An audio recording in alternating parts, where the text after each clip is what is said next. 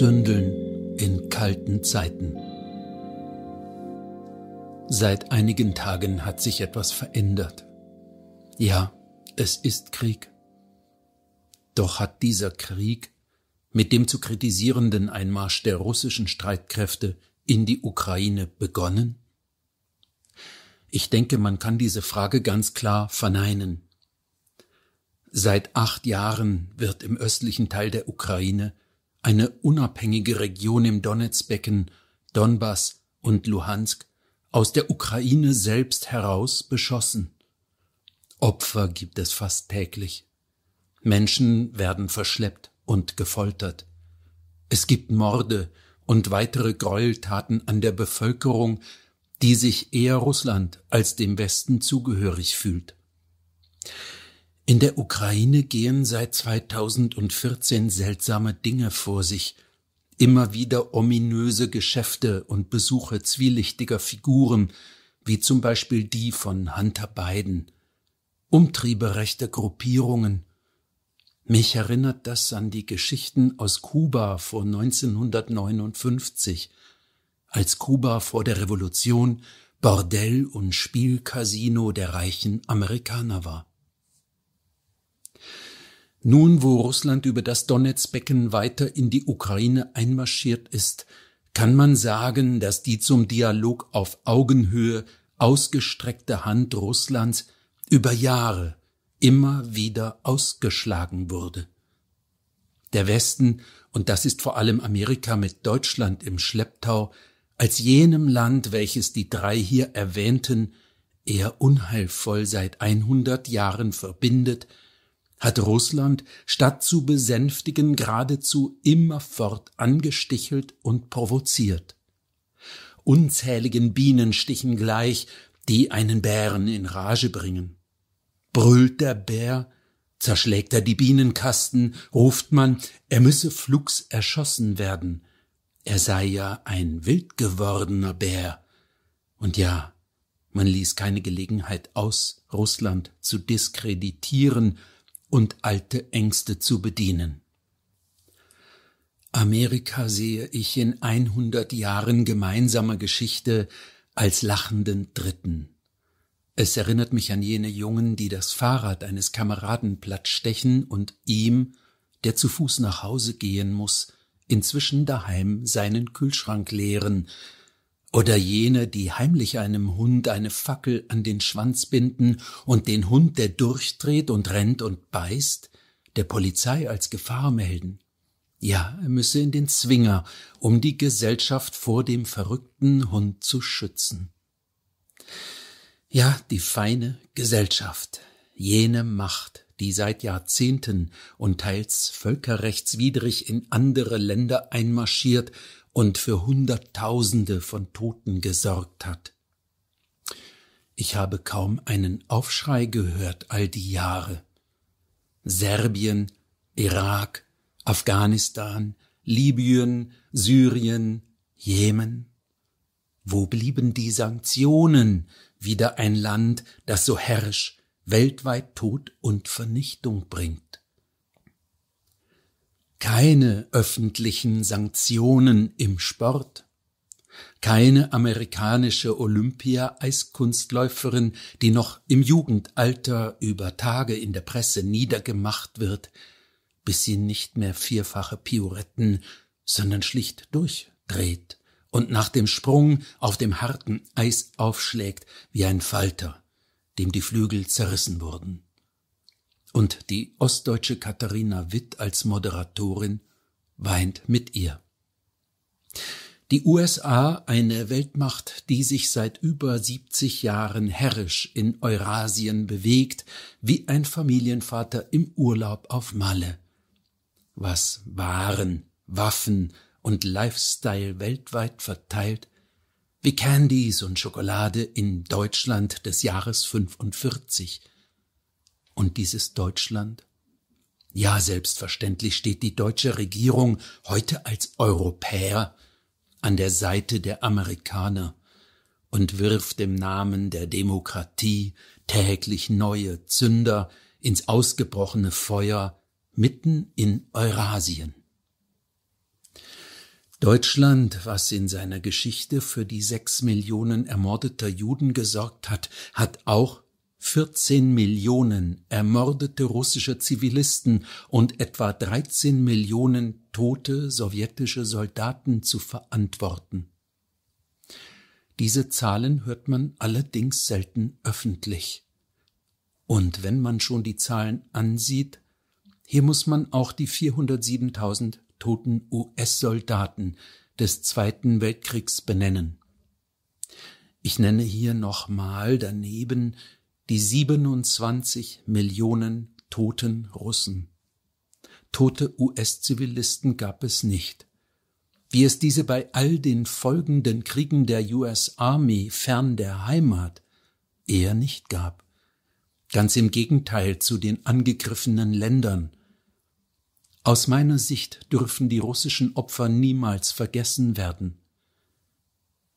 Insbesondere wo die deutsche Wehrmacht drei elendlange Jahre die Bevölkerung St. Petersburgs, damals Leningrad, ausgehungert hat, sollte deutschen Spitzenpolitikern der Begriff Sanktionen der Lebensmittel, zumindest nach meinem Geschmack, deutlich zurückhaltender über die Lippen gehen.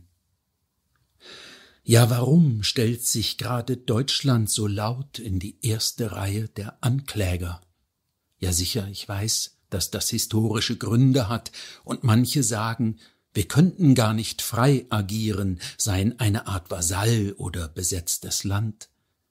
Wenn ich sehe, wo die uns regierenden Politiker ihre Ausbildung und Schliff erhalten haben, so ist das mit der Transatlantikbrücke eher Washington als Moskau.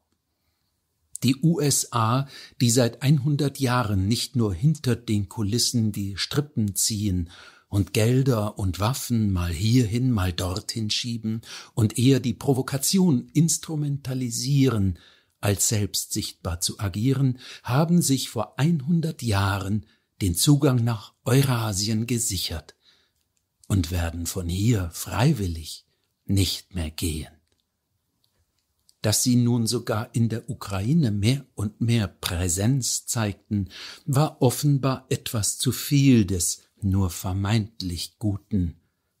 Denn einen guten Ruf haben Biolabore in jüngster Zeit nicht. Da muss man gar nicht bis nach Wuhan schauen. Mir fällt auf, dass fast alles, was Deutschland an Strafmaßnahmen beschließt, vor allem dem eigenen Land schadet einer Autoaggression gleich, nehmen wir uns nicht allein, wie bereits in den letzten Jahren begonnen, unsere eigene Energieversorgung, nein, wir lehnen nun auch eine bereits installierte Gaspipeline ab, weil sie aus Russland kommt. Und das muss Strafe spüren. Wo führt uns das hin? Zu noch mehr Abhängigkeit von amerikanischem Gas, was teurer und durch Fracking umweltbelastender ist. Und das, wo Deutschland bereits mit den höchsten Energiepreisen aufwertet. Nebenbei bemerkt hat Anthony Blinken verlauten lassen, dass die USA weiterhin russisches Öl und Gas beziehen werden, weil man das eigene Land nicht schädigen wolle. Wir sperren dann den vergleichsweise kleinen deutschen Luftraum für russische Flugzeuge, wohl wissend, was es für eine Katastrophe bedeutet, wenn deutsche Flugzeuge auf ihrem Weg nach Seoul, Hongkong oder Singapur Russland umfliegen müssen. Der Kanzler Scholz, selbst im Fadenkreuz juristischer Aufarbeitung eines Finanzskandals um Millionen, gibt 100 Milliarden Euro für die Aufrüstung der Bundeswehr frei. Und heute kündigt die deutsche Regierung die Gabe von 500 Stinger-Raketen und 1000 Panzerabwehrraketen an die Ukraine an, so wie sie auch den Saudis all die Jahre Waffen gibt, die gegen den Jemen und seine Bevölkerung eingesetzt werden. All das soll ja dem Frieden dienen, der Demokratie und im Falle Russlands nun einen Wahnsinnigen stoppen. Wir sehen seit acht Jahren Sanktionen gegen Russland, die eher der deutschen Wirtschaft als Russland selbst schaden und diese überhaupt nicht dazu bringen, die Krim zu verlassen. Der Effekt ist grob gesagt, dass Russland sich China zugewandt hat und von dort notwendige Waren bezieht. Deutschland nimmt, wie man es dem Skorpion nachsagt, die eigene Beschädigung hin, sich gleichsam selbst zerfleischend, um Russland zu einem Verhalten zu zwingen, das diesem Russland selbst durch die Einengung seines freien Lebensraumes unmöglich gemacht wurde. Ich denke, wir hatten das schon einmal, und auch damals sah jemand quasi von außen zu und finanzierte hier wie dort. Ja sicher, es geht auch darum, wie wir in Zukunft leben wollen. Das, was wir heute Demokratie nennen, kommt inzwischen als inhaltsleere Silhouette daher, die mich manchmal an den Lord Waldemar erinnert. Wir haben in den vergangenen zwei Jahren erleben müssen, wie leicht man eine vermeintliche Demokratie hin zu einem autoritären Regime wandeln kann, was Ausgangssperren und radikale Maßnahmen auch auf dem Rücken von Kindern und Alten umsetzt, gleich ob diese Schritte irgendeinen Erfolg zeigen oder nicht. Und wenn Tausende von Menschen daraufhin friedlich auf die Straße gehen, um auf Missstände hinzuweisen, so werden sie nicht selten niedergeknüppelt oder mit unverhältnismäßigen Bußgeldbescheiden überzogen. Ganz im Gegenteil zu den Großdemonstrationen heute gegen Putin und seinen Krieg oder das Klima oder Black Lives Matters. Ja, all das mag richtig und wichtig sein, doch wie selektiv, fragil und unberechenbar der Raum für Demokratie geworden ist, zeigt das Unverhältnis im Umgang damit deutlich auf. Heute scheint jeder ein Moralist sein zu müssen, und wichtig ist vor allem zu wissen, dass man auf dem einzig möglichen und zugewiesen korrekten Fleck steht, um nicht diskreditiert oder verunglimpft zu werden. Wichtiger als Kontroverse ist unisono Wir sind mehr zu schreien, was mich vor allem in jüngster Zeit immer wieder unangenehm an den Berliner Sportpalast im Februar 1943 erinnert, wo eben auch unisono und total geschrien wurde. Einem russischen Fernsehsender wie RT werden in Deutschland kurzerhand die Senderechte entzogen. Man kritisiert Einseitigkeit in der Darstellung. Freie Meinungsäußerung im Jahr 2022 in Deutschland. Auf Einseitigkeit ist allerdings dank Löschungsorgien in den eigenen Medien durchaus Verlass. YouTube und Co. zensieren seit zwei Jahren alles, was das vorgeformte Denken hinterfragt oder Staatsbeschlüsse kritisiert. Das Freisagbare ist äußerst eng geschnürt worden, und sogar die schöne deutsche Sprache selbst holpert neuerdings pseudo-gender korrekt, verkorkst, in künstlichen Schluckpausen daher, in stotternden Tendenden oder der inzidenzverdächtigen Sternchen innen Während wir unter Masken Silben haspeln und stottern, gibt es einen ganz erstaunlichen Überbau, der all dies zelebriert und dem es Freude macht. Denn all die großen Köpfe, ob ein Biden, ein Trump, ein Putin oder eine Merkel, beziehungsweise möchte sagen, ihre uns verbleibenden Zöglinge, sie alle wurden und werden vom WEF ausgebildet, und folgen einem gemeinsamen Ziel.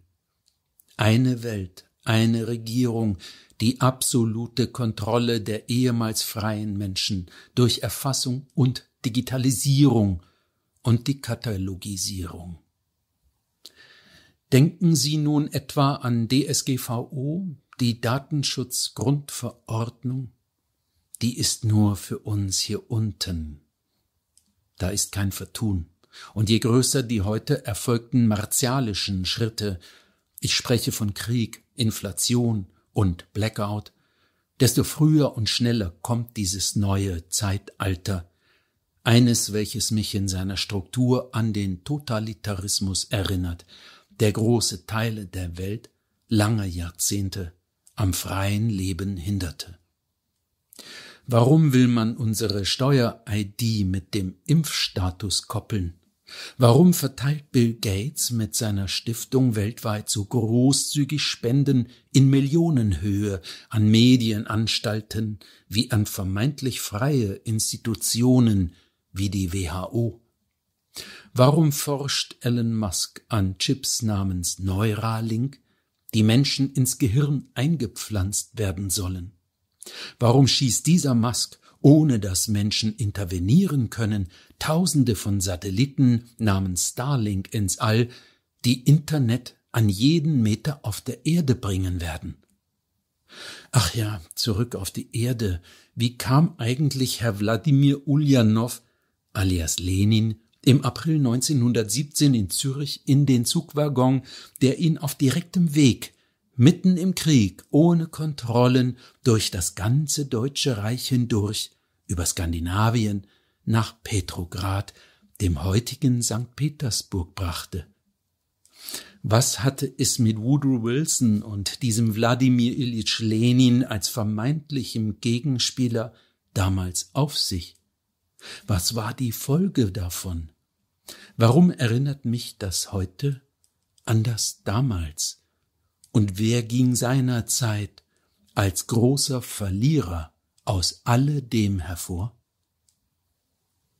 Der NATO-Gründungssatz von General Lord Ismay lautete 1948 Keep the Russians out, the Americans in and the Germans down. Es ist doch allerhöchste Zeit, dieses immerzu ähnliche Treiben zu beenden, den giftigen Stachel herauszuziehen und als freie Menschen miteinander im Dialog zu leben und ehrlichen, freien Handel zu treiben. Wir als freie Menschen wollen auch in Zukunft selbstbestimmt leben, digitale wie sonstige Überwachung und die betriebene Spaltung beenden und gegen die extreme Ausbeutung angehen. Es gibt Nahrung und genug Rohstoffe für jedermann als Basis für ein würdiges Leben von Mensch, allen Lebewesen und der Natur auf dieser Erde.